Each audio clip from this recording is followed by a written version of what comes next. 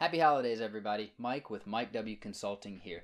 And if you are a web designer, web developer, freelancer, or a newly developed startup looking for a great IDE to use, stay tuned and I'm going to show you what I use and what I have been using for over a year now and absolutely love it.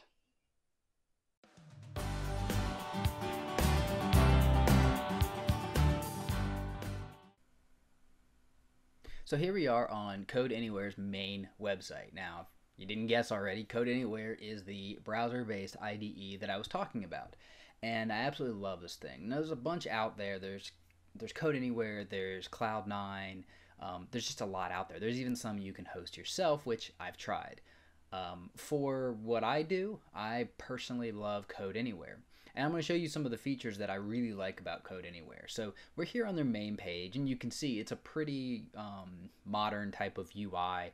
It's a, uh, for most part, kind of a single page, um, kind of a single page layout where you can kind of scroll down through everything. Now to show you some of the great features I love about Code Anywhere, I'm actually going to log into my Code Anywhere account and kind of show you one of the projects that I've been working on. But let's look at their main site first and see some of the features that they have available. So the first thing that you'll notice is they have a free account. Who doesn't love a free account?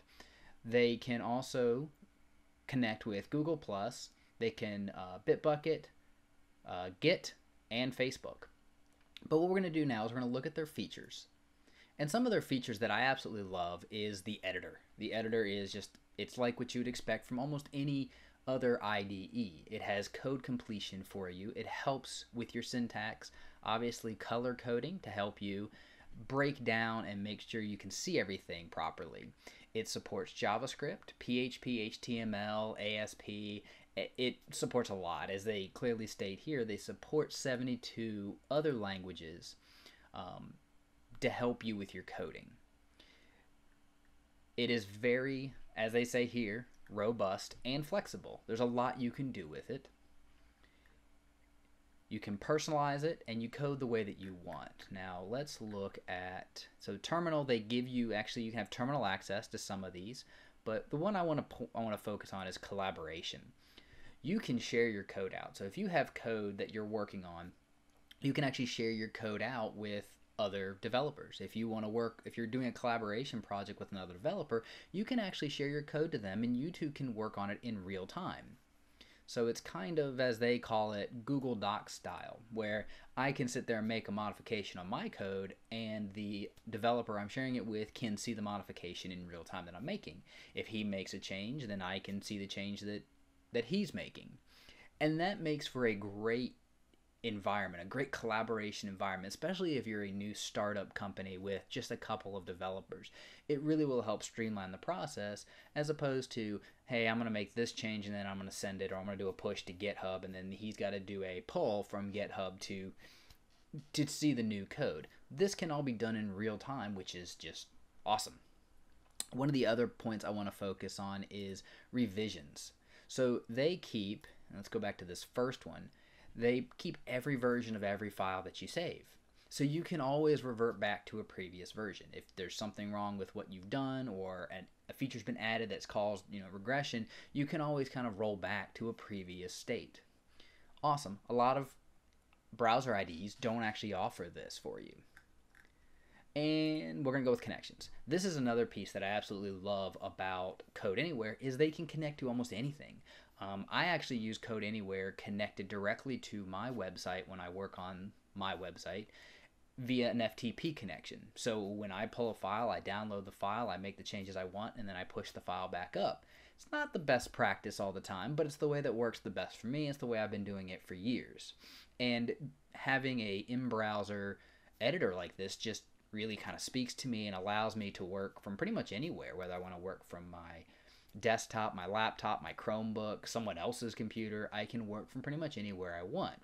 Which brings me to the next feature, and that is apps. So they actually have an app that you can use for Code Anywhere for any major platform. So we have a web app, which is just simply what I'm going to show you, and it's the free um, web IDE editor. They have an Android app, where you can actually pull the code up and make changes to the code on your Android phone or Android tablet. And same thing with iOS. If you have an iPhone or if you have an iPad, you can download the Code Anywhere app and you can actually run it on there as well. So you can make changes to your code kind of in real time no matter where you're at. If you're the, the example that they use really is you're at a lunch meeting with somebody and you get a fr- frantic call saying, "Hey, this is broken." You can pull the code up on your on your app and you can actually make the change and publish it. So, with all that being said, I want to hop into one more thing with the features and something that they call containers. Now, the one great thing that I love about this and about the containers is it really helps, you know, new companies, startup companies, freelancers to do development without having to purchase stuff. Now, I have my own server in my basement that you know, I can put any, any environment that I want on it and develop against it. But for people who don't necessarily have that or people who are just starting out, this is a great option. Basically, what you can do is you can set up any sort of environment that you want to code against, and it's all in the cloud. You don't actually have to host anything. Now, Code Anywhere will keep it turned off if you haven't used it in a while, but it's pretty simple. If you're just using it for development, you just turn it back on and do what you need to do. And I love this about them. They can, you know, throw up some JavaScript, some HTML5, PHP, Python, Ruby. There's a lot they can do, and we're going to walk through that here very quickly. So now that I've kind of gone through some of the features, uh, I want to just take a quick peek at the pricing because the pricing is incredibly reasonable. I'm very shocked at how reasonable this pricing is, and it hasn't fluctuated very much. Um, so there's obviously the free account, and the free account is great. You can do pretty much whatever you want with the free account uh, to a degree. You can't have any always on containers.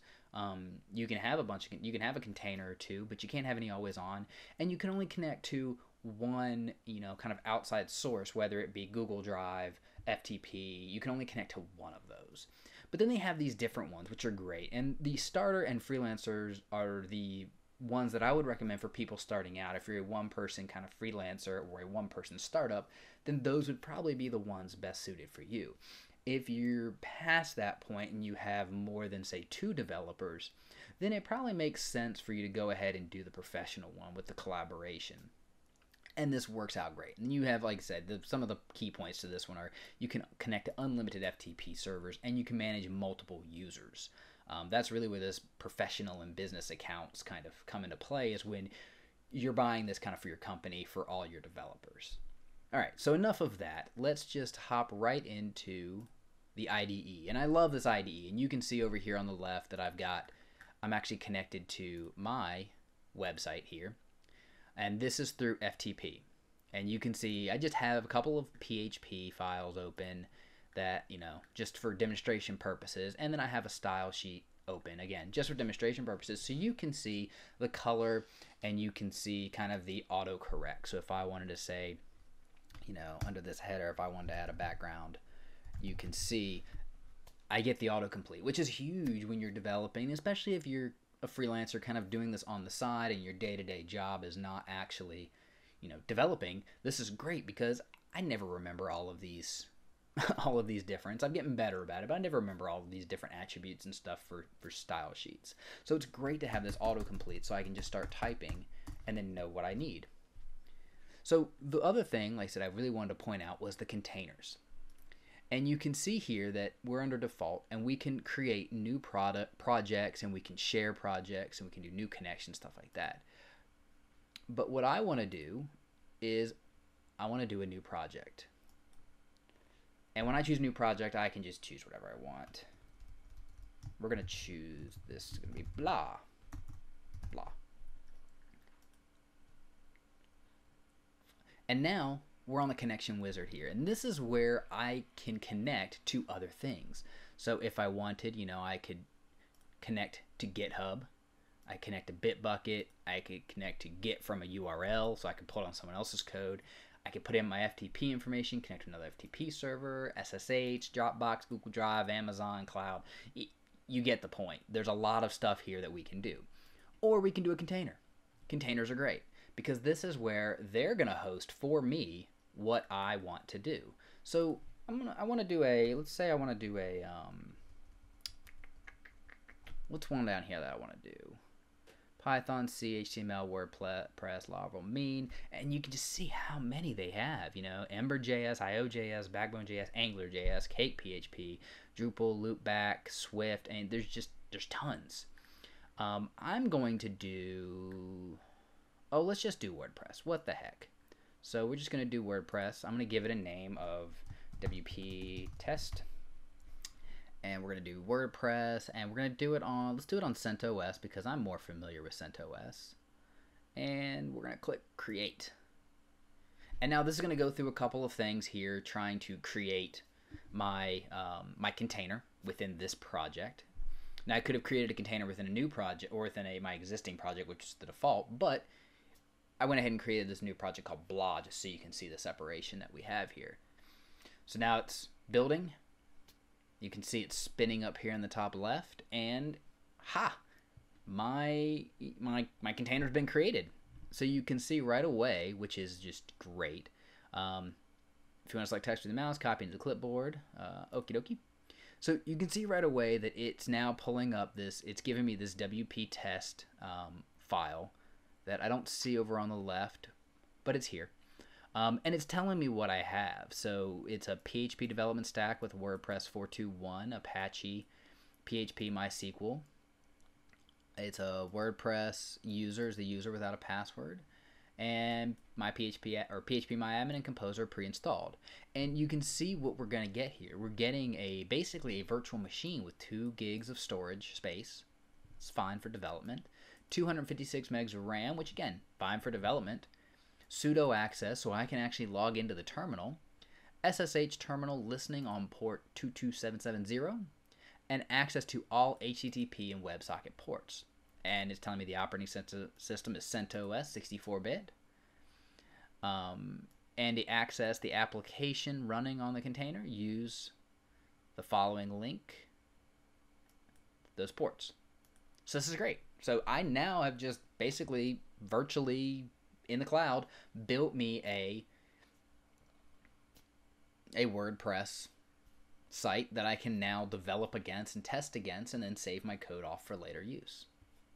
So I hope you guys are kind of seeing my excitement here in in this in this application. It's a great great application um, that they they've done a great job and they're continuing to to build upon this application and work at it and they're really focused around their customers. I've tweeted out a couple of things and kind of tagged them in it, and they've actually been pretty quick to respond to me. Um, even if it wasn't a question, if it was just a, hey guys, thanks for adding this feature, they're pretty quick to respond to me on this. So I hope this video has been helpful for you guys. This code anywhere kind of quick review and again you can see my excitement on this that i think it's a great program it's a great web app for any developer designer freelance designer developer startup company. It just it really cuts down on a lot of the costs that you need to do that initial startup. Um, it cuts down on even to needing to host your own servers and stuff, which is great because you know not everyone has the luxury that of being able to have a server that they can host stuff on, or or even understanding the backend. A lot of developers and designers don't even know how to install CentOS or set up Apache and MySQL. So I hope this has been informative for you. If you enjoyed this video, please leave a like to let me know if you want me to do more of these types of reviews. And hop on over to Code Anywhere. At the very least, get yourself a free account. And happy holidays, and I'll catch you guys later.